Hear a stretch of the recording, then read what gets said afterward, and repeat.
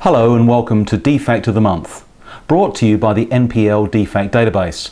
My name's Bob Willis and each month we'll look at process defects that you might see during manufacture.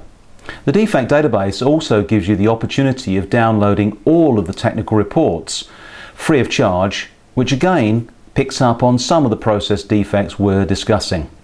It's unusual really to get wire corrosion these days, but it does occur. Now if you're soldering wire with insulation with multi-stranded cable, then you must not use a corrosive flux. What tends to happen is the flux actually capillaries up inside the stranded wire and it will sit there and not be detected. Corrosion can occur and then the wire can break due to flexure of the cable.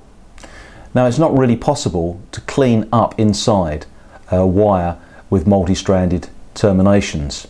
So make sure you use an appropriate flux for this particular application.